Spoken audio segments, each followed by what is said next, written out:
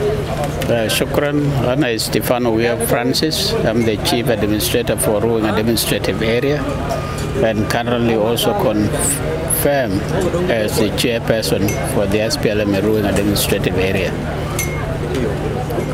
في البداية ورينا آه، أهم المستخرجات اللي أنتم طلعتوا به لما كان المنتدى الحكام طلع Uh, we have been here uh, for this National Liberation Council.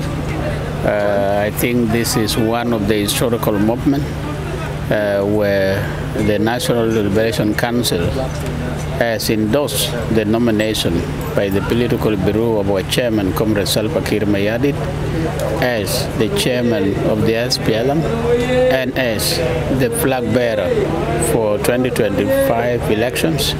And this nomination is based on the fact that uh, Comrade Salva Kiir Mayardit has won us this history, has stood with the history of this country, has been the custodian of the history of this country, and hence all of us, the National Liberation Council, the political bureau, the chairpersons of these, the, the states and administrative areas, the SPLM secretaries in, unanimously endorsed Comrade Salva Kiir as our next candidate for the next election.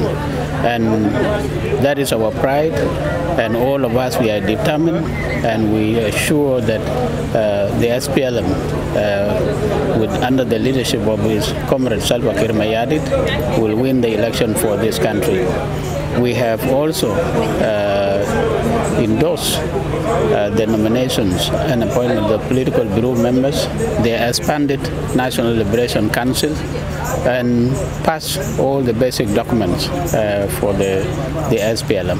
So this has been a, a, turning point for us, and we see that the new structure of the party has really uh, strengthened SPLM, and this has made SPLM to be more greater again. We have been resilient, and we believe SPLM this time will be more stronger than before. Okay, can you give us message for people of South Sudan?